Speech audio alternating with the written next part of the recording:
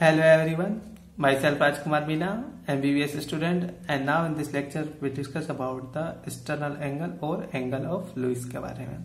तो देखो पहले अपन एक्सटर्नल एंगल के बारे में सब कुछ समझ लेते हैं कि क्या होता है कहाँ पे प्रेजेंट होता है इसके इंपॉर्टेंट कुछ जनरल पॉइंट्स हैं उनके बारे में और इसके कुछ यूजेज हैं उनके बारे में जान लेते हैं। उसके बाद अपने एक्सटर्नल एंगल के थ्योरेटिकल पॉइंट्स के बारे में बात करेंगे। तो ये अपने लिखा हुआ एक्सटर्नल एंगल के बारे में पहले से समझा देता हूँ उसके बाद इन्हें दिखा दूँगा। तो देखो स्टर्नल एंगल क्या होता है? अब नाम से पता चल कि अपने स्टर्नम के अंदर एक एंगल होता है, जिसे बोलते हैं स्टर्नल एंगल तो स्टर्नम में कहाँ पर प्रेजेंट है? तो ये स्टर्नल का मेनिब्रम वाला पार्ट हो गया, ये बॉडी वाला पार्ट हो गया. तो मेनिब्रम एंड बॉडी का जो जंक्शन है, यहाँ पे मिलता है अपना स्टर्नल एंगल इसे मेनिब्रो स्टर्नल ज्वाइंट भी बोलते हैं, ठीक है? यहाँ पे. अब बात करते हैं जो अपने एक्सटर्नल एंगल होता है, ये कोई इमेजनरी प्लेन नहीं होता है। काफ़ी लोग ये सोचते हैं कि अपनी एक्सटर्नल एंगल एक कोई इमेजनरी प्लेन है। नहीं, आप इसे फील कर सकते हो। ये एक ट्रांसफर्स रिज के जैसा दिखाई देता है।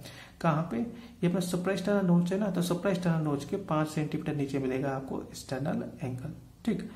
अब बात करते हैं कहाँ लाइज करता है इसके आगे की तरफ़ तो अपने ये रिप्स वगैरह मिलेंगी, पीछे की तरफ़ अपने वर्टिब्रा मिलेगी। तो आगे की तरफ़ कौन सी रिप्स मिलती है? तो ये अपनी फ़र्स्ट रिप है, ये अपनी सेकेंड ट्रिप है। तो सेकंड ट्रिप जुड़ी होती है मतलब अपनी सेकंड कोस्टल कार्टेज इसके एंटेरियलाइज करती है। एंड पीछे की तरफ़ अपनी इंटरवर्टिबल डिस्क मिलेगी कौन सी? T four and T five vertebra के बीच वाली। ठीक है तो पोस्टली ये लाइज करती है। तो ये इसके कुछ जनरल पॉइंट्स हो गए। अब बात करते हैं एक्सटर्नल एंगल के यूजेज के बारे में। तो इसके सरफेस एनाटॉमी में काफ़ी सारे यूजेज है। कौन कौन से? तो फ़र्स्ट है, ये अपने रिप्स की काउंटिंग में हेल्प करती है। इसके ऊपर अपनी फ़र्स्ट रिप हो गई, फिर सेकंड रिप फिर थर्ड रिप्स है ना? तो अपने रिप्स की काउंटिंग में हेल्प हो गई। दूसरा है जो अपनी अवोटा होता है तो अवोटा को तीन सेगमेंट से बांटता है। एक अपना असेंडिंग आउटा एक अपना आर्च ऑफ़ अवोटा एक अपना डिसेंडिंग आउटा तो जो असेंडिंग अवोटा होता है, इसका तो एंडिंग पॉइंट डिसाइड करता है और आर्च ऑफ़ अवोटा का starting point and ending point decide करता है।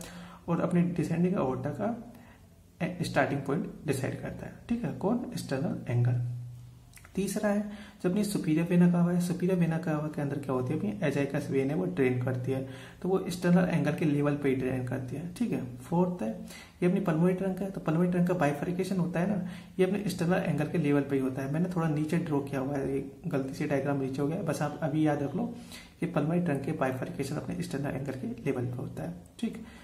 फाइव यूज़ है मतलब पाँच नंबर का यूज़ है तो अपने ट्रे क्या है जो ये ब्रोंकस में डिवाइड हो रही है ना? तो ये अपने एक्सटर्नल एंगल के लेवल पे हो रही है, देखो। ठीक, एक है। एक अपनी थोरेसिक अवोटा है, जो थोरेसिक अवोटा क्या है, अपने राइट टू लेफ़्ट है जो क्रॉस करती है तो वो अपने एक्सटर्नल एंगल के लेवल पे क्रॉस करती है। ठीक है? एंड सेवन इसका जो कार्डिक प्लेक्सिस होते हैं, वो एक्सटर्नल एंगल के लेवल पे मिलते हैं। मैंने यहाँ पे ड्रॉ नहीं किया हुए हैं, बस बता रहा हूँ कि वो कार्डिक प्लेक्सिस वो एक्सटर्नल एंगल के लेवल पे मिलते हैं। अब देखो तो जो जो जो बोला है, वो वो दिखा देता हूँ आपको। ठीक है? आपको एक्सटर्नल एंगल के बारे में इतना ही पढ़ना है, इतना ही आपको एग्ज़ाम के अंदर लिख के आना है। ये काफ़ी सारा हो गया, वो भी, ये भी ज़्यादा ही है कुछ, है ना? तो एक्सटर्नल एंगल क्या होती है? एक्सटर्नल एंगल एक अपनी इंपॉर्टेंट सरफेस लैंडमार्क होती है, जिसका अपने थोरेक्स की सरफेस एनाटॉमी में काफ़ी सारे इंपॉर्टेंट रोल है या यूजेज है। तो एक्सटर्नल एंगल कहाँ पे मिलता है? Junction of manubrium and body पे जिसे अपने मैनिब्रो एक्सटर्नल ज्वाइंट बोलते हैं। ये अपने एक ट्रांसवर्स रिज के जैसा होता है जो कि अपने सुपर एक्सटर्नल नोच के पाँच सेंटीमीटर नीचे मिलता है। ये ऊपर की तरफ़ अपनी सुपर एक्सटर्नल नोच हो गया, इसके पाँच सेंटीमीटर नीचे मिलता है अपना एक्सटर्नल एंगल अब बात करें कहाँ पे लाइज करता है तो इसके आगे की तरफ़ अपनी रिब्स मिलती है, कौन सी? अपनी सेकंड कोस्टल कार्टिलेज पीछे की तरफ़ अपनी वर्टिब्रा मिलेगी तो अपनी T four and T five vertebra के बीच में, ठीक है? अब इसके क्या क्या यूजेज है? तो फ़र्स्ट है ये अपने use in counting of ribs जब ये रिब्स की काउंटिंग में हेल्प करता है। दूसरा है आउटा तो आउटा के जो अपने असेंडिंग आउटा होता है, उसका तो एंडिंग पॉइंट होता है ये। ठीक है? और आज ऑफ़ आउटा का बिगिनिंग एंड एंडिंग पॉइंट होता है। एंड डिसेंडिंग आउटा का बिगिनिंग पॉइंट होता है। मतलब अपना स्टार्टिंग पॉइंट ठीक है? थर्ड है बाइफरिकेशन ऑफ़ पल्मोनी ट्रंक जब भी ट्रंक का बाइफरिकेशन होता है, वो एक्सटर्नल एंगल के लेवल पे होता है। फोर्थ है azygos vein drain into superior vena cava जब azygos when superior vena cava के अंदर ड्रेन करते हैं, किसके लेवल पे? एक्सटर्नल एंगल के लेवल पे। एंड ट्रेकिया का बाइफरिकेशन होता है। ट्रेकिया प्राइमरी ब्रोंकस में डिवाइड हो रही है ना? देखो। तो ये अपने एक्सटर्नल एंगल के लेवल पे डिवाइड हो रही है मतलब। सिक्स है, अपने थोरेसिक डक्ट क्रॉस कर रही है राइट टू लेफ़्ट कहाँ पे? अपने एक्सटर्नल एंगल के लेवल पे। ठीक है? थोरेसिक डक्ट अपने राइट टू लेफ़्ट ही क्रॉस करती है एक्सटर्नल एंगल के लेवल पे। सेवंथ अपने कार्डियक प्लेक्सिस है, ये भी अपने एक्सटर्नल एंगल के लेवल पे मिलते हैं। तो ये इसके यूजेज हो गए।